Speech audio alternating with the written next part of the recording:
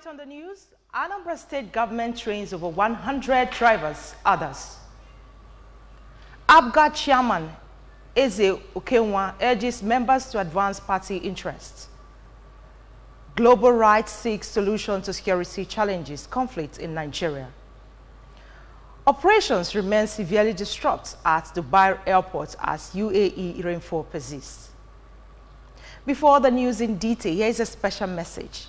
Governor Chukwuma Soludo has come for a total turnaround maintenance of the Anambra State economy and promotion of core Igbo values. Let's give him maximum support for the task ahead. Good evening and welcome. My name is Chinyere Ikoreke. Details of the news.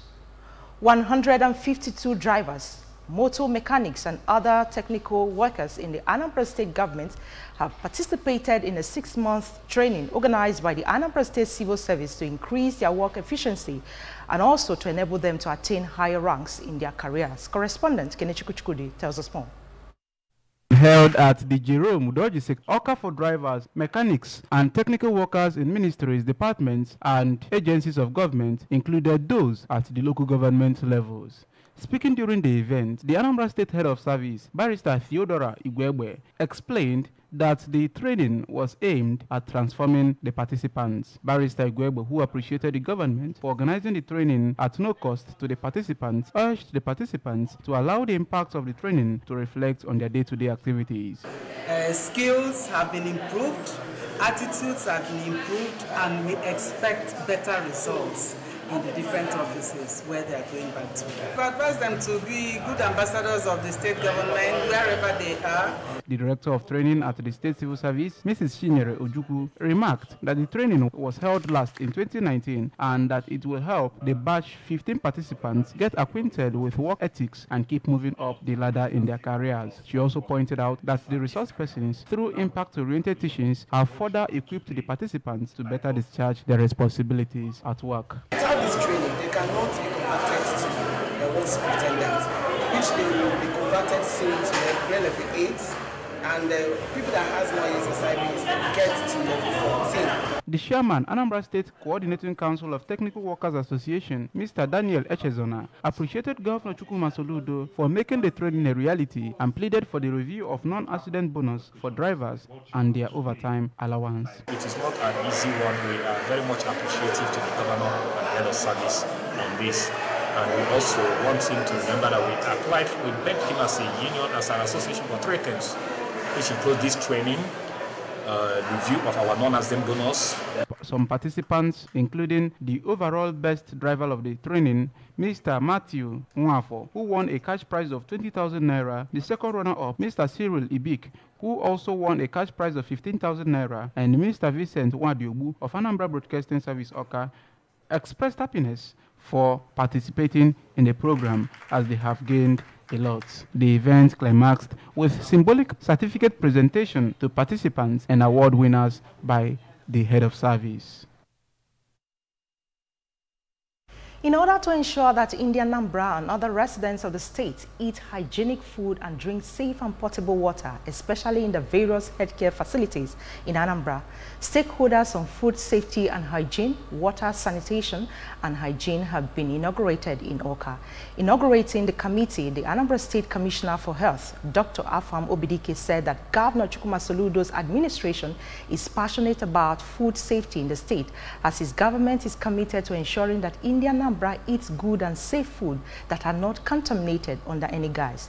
Dr. Obidike, represented by the Permanent Secretary of the State, Dr. Obiagelu Chebu, pointed out that Food safety is one of the most significant issues in the state and Nigeria in general, as most people eat out on daily basis and charge the stakeholders to take their job seriously, even as he commended Governor Soludo for the ongoing provision of potable water in the state.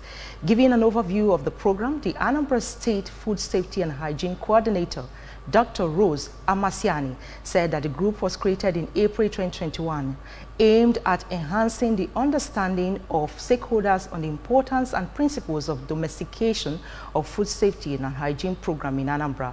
The State Di Director of Public Health, Dr. Afom Aneme, noted that the campaign needs all the relevant stakeholders to key in and help to propagate the gospel of eating good and safe food as well as drinking potable water in their various homes and hospitals.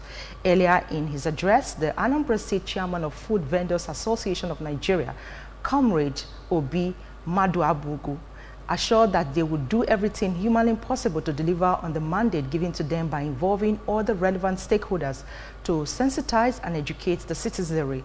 Speaking on behalf of the Transition Committee Chairman and Transition Committee Chairman of Anambra East Local Government Area, Dr. Aslem Honora promised that they will give the association all the necessary support for them to excel, stressing the need for a robust and massive sensitization of the people. The national chairman of the All Progressives Grand Alliance, APGA, Barrister Sly Ezeokenwa, has called on all party members to always be committed and dedicated in advancing the cause of the political party. Barrister Okenwa stated this when the member representing Anambra East constituency in the State House of Assembly, Barrister Obi Weke and his entourage paid him a courtesy call in Awka.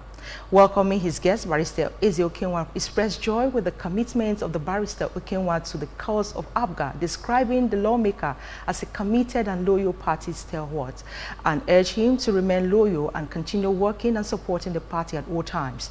The APGA National Chairman urged Barrister Weke to use his wealth of experience as a former Transition Committee Chairman of Anambra East Local Government Area to bring people of the local government together to ensure that APGA flag continues to fly in all coming elections, especially in the second term bid of Governor Chukwuma Soludo, whom he said has promised or performed extremely well.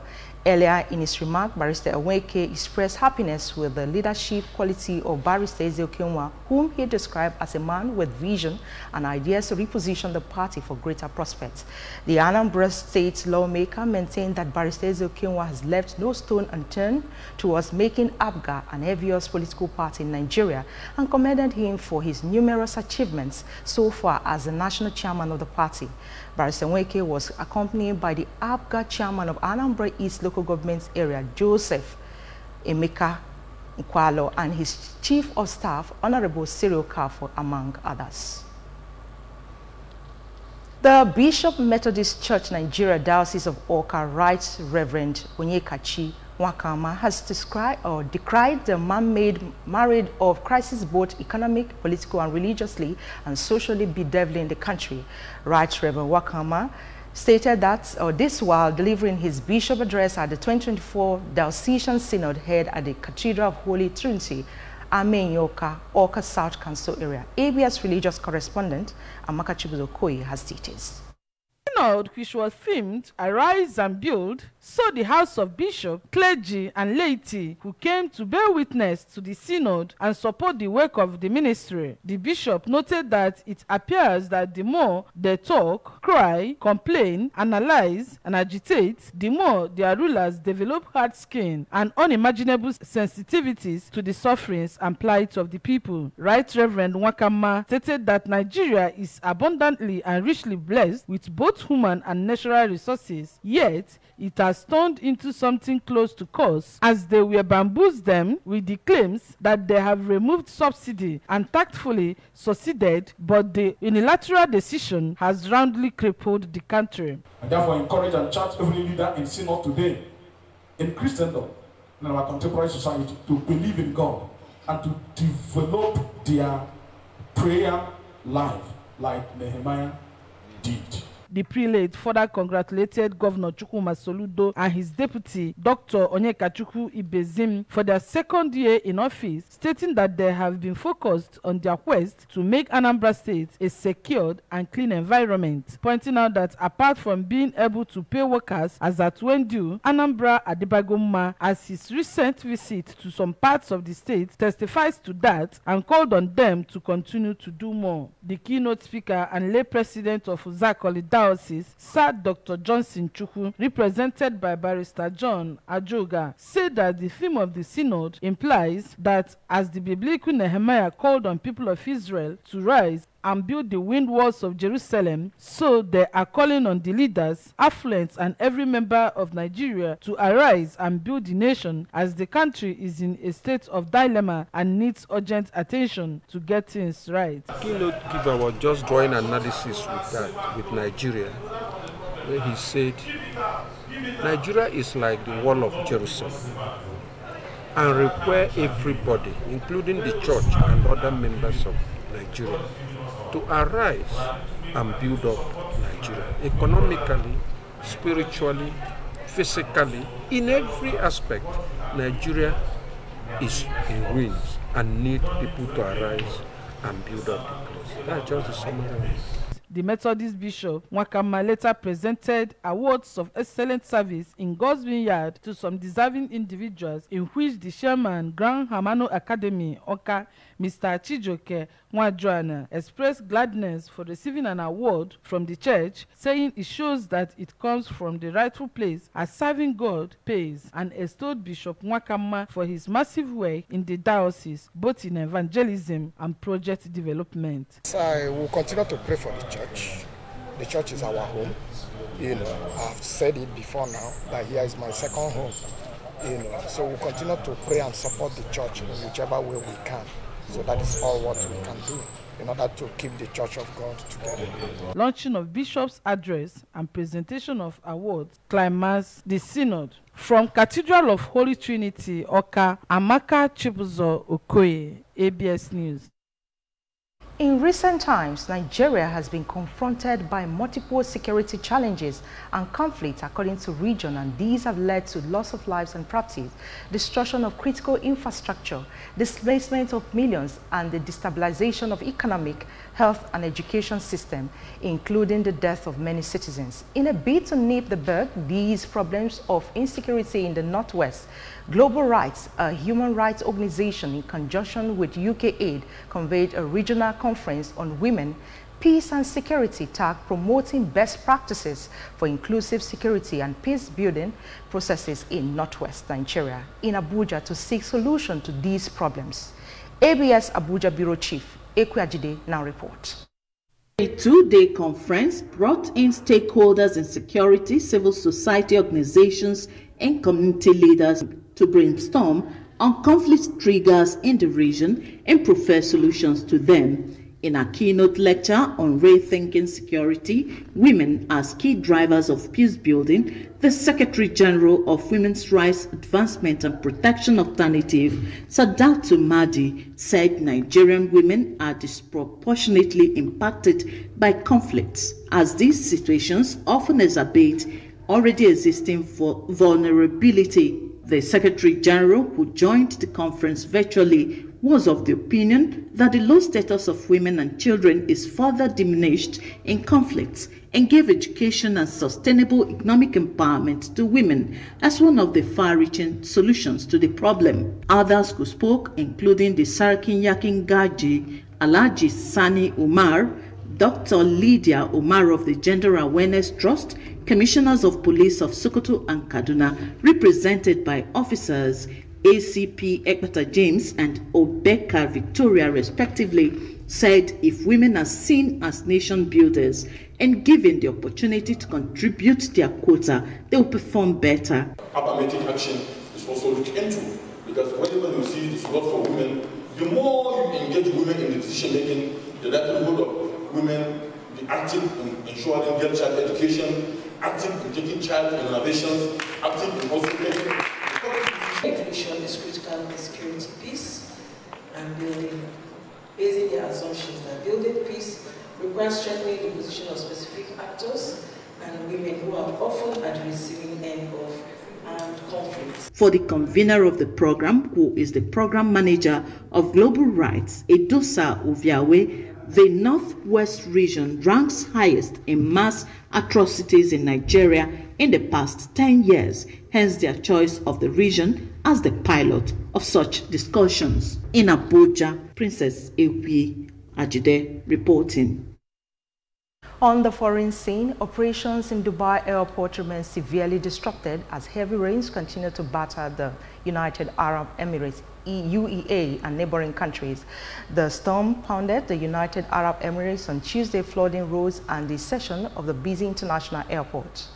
Flash flood have now killed 20 people in Oman and one in the United Arab Emirates. Some inbound flights have resumed today, but on the whole, Dubai International Airport, a major travel hub, is barely functional.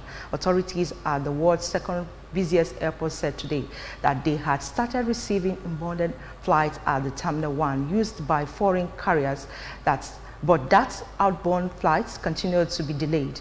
They later announced that check-in was open at Terminal 3 for Emirates, the single largest carrier at the airport, and Fly Dubai flights but they warned that a large number of travelers were waiting to check in and long delay were expected. In sport, all rounds of the Emirates FA Cup will also be played on weekends, including the fifth round which has been played in midweek for the past five seasons. The changes came as part of a new six-year agreement between the Football Association and the Premier League.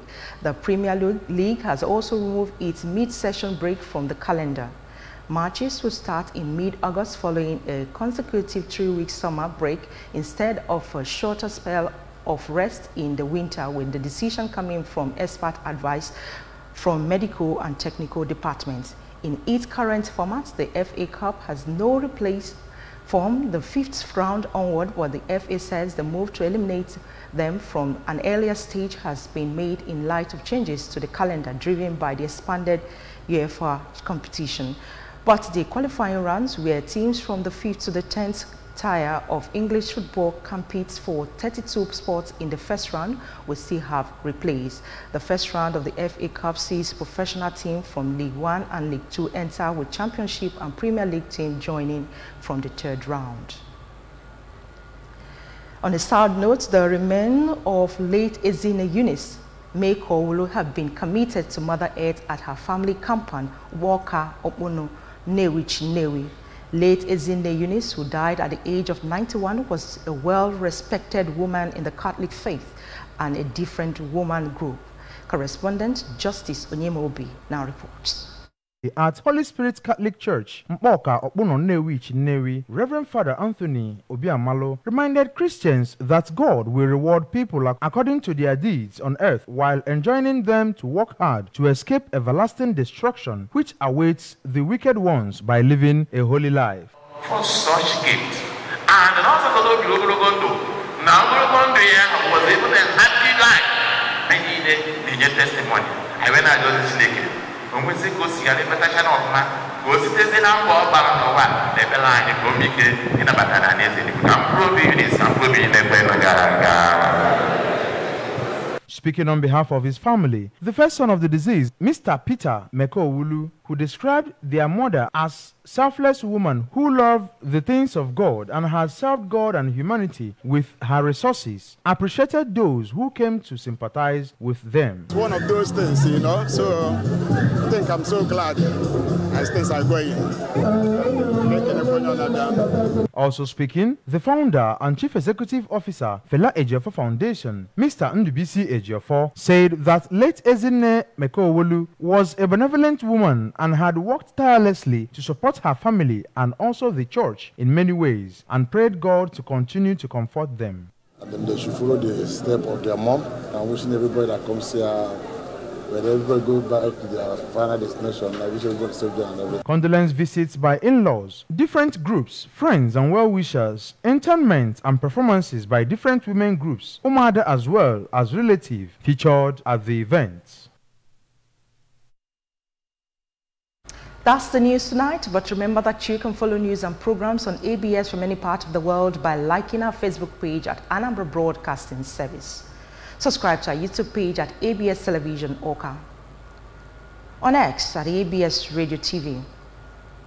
On Instagram at ABS Radio TV. You can also log on to our website at www.absradiotv.com.